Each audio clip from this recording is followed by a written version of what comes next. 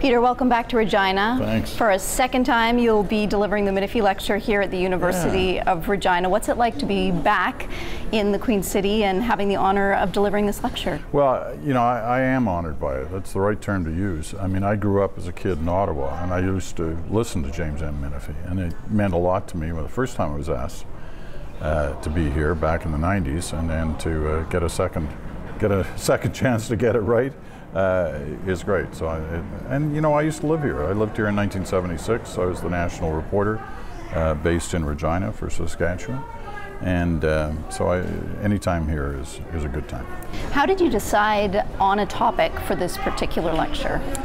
Well, uh, you know, in our business, there are always things to talk about. Uh, there are lots of issues confronting us. I, I felt strongly that uh, it was time that I uh, spoke out on the fake news issue uh, because I think it's important. Uh, we're at a, a major point in the, in, the- in the history of journalism when uh, it seemed to be okay to attack the integrity uh, of, of good, solid journalists.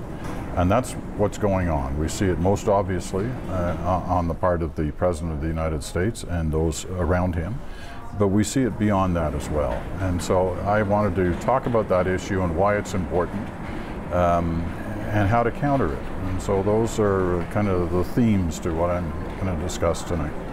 What is fake news? Some people can't even agree on, on what fake news is. You're right. I mean, the, the real fake news, as odd as that sounds as a phrase, Yes. is a real issue. Uh, and that's when, you know, in the case of Russia, countries, and they're not alone, but certainly they've uh, uh, excelled at pushing stories that are totally made up for a purpose to try and influence opinion. That is fake news. That is a concern. That is operating uh, within social media circles. Uh, and we have to be aware of it and the impact it can have because I don't think anybody realized it two years ago when this was going on, the impact it could have. That's real fake news. Uh, unreal fake news is when you just simply disagree with whatever's being said about you. Um, and that's what we're seeing south of the border. To watch what happened with Russia and the American election, and so much of that was driven through social media, do you think that social media sites need to take a greater responsibility for what's being shared amongst those sites? Yeah, I, I think the old argument about, hey, we're not a media company, that doesn't work anymore. Uh, the fact is, they have to take greater responsibility, and there are some indications that they're starting to do that. How do we, as legitimate journalists, distinguish ourselves from what people will consume? And as you say, they'll say, Well, I believe in this and I like it, it reflects my views back, so it must be real. So, how do we push forward as legitimate journalists to, to have our stand in this, in this business? Well, we push forward by doing what we're best at, which is telling the truth and ensuring people understand it's the truth and being transparent in the way we tell our stories, that people understand what it is we go through to get to uh, the stories we tell. Um, but basically, you know, the only thing that matters in our business at the end of the day is truth. Truth matters more than anything else. And so we have to ensure that we're able to convince our audience that what we are telling them is true. it's been about six months since you left your post at the National. What's that time been like for you? Well, I've learned it's okay to have a beard. yes, it is. You and David Letterman. That's right. um, it, it's been great, actually. You know, I was a little worried about what it was going to be like, uh, but I'm busy. I knew, you know, I'm, I'm giving a lot of speeches. This is the third one in, in, in, five nights in different parts of the country. I'm traveling a lot.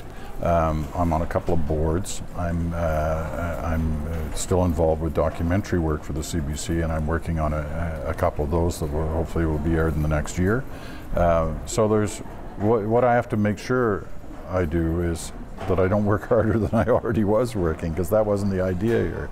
But I'm, you know, it's a different pace uh, than I than I was used to in the, you know, in the heart like you are of daily news, and uh, I'm really enjoying it. We had asked on Facebook uh, for people to write in and, and ask some questions of you. There's always a lot of curiosity around Peter Mansbridge. Right.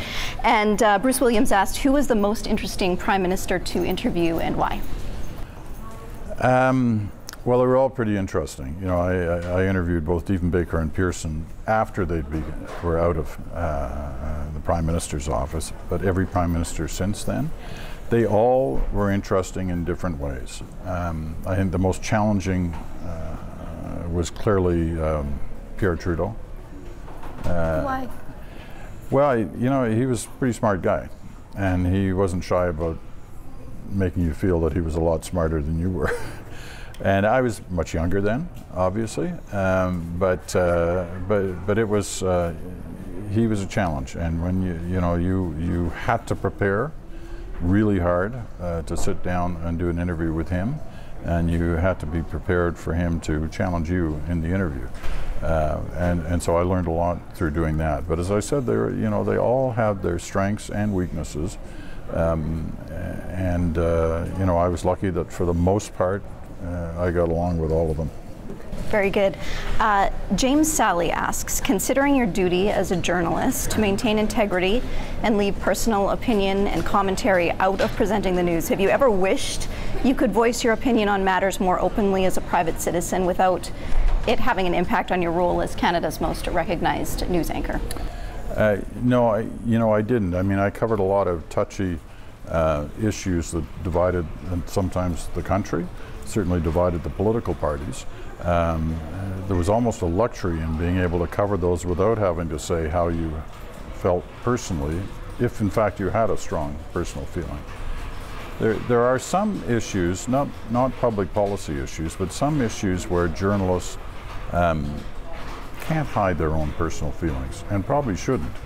Uh, and those are stories more of um, where it's clear that it's not a on the one hand, on the other hand story. Something that's happened here is very wrong, Yeah. and we're going to tell you why it's wrong, uh, and, it- and it shouldn't be happening. Um, and, and that's that becomes a personal opinion based on fact.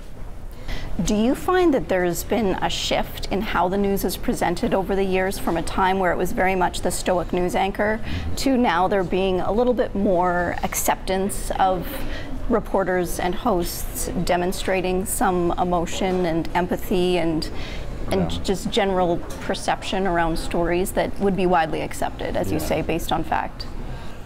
Yeah, I'm not all the way there yet. I mean, I think there is a there is a part of the traditional news anchor that uh, that a lot of viewers are always going to be uh, want, which is give me the facts, tell me what happened. Don't try to influence unduly my opinion. Uh, allow me to hear the facts, lay out the context, be fair, let me make up my own mind. Uh, to do that, you know, you, you've got to be careful not to, in any fashion, um, sort of try to sway things by the way you react to the story. Thanks for your time today, Peter. Thank you.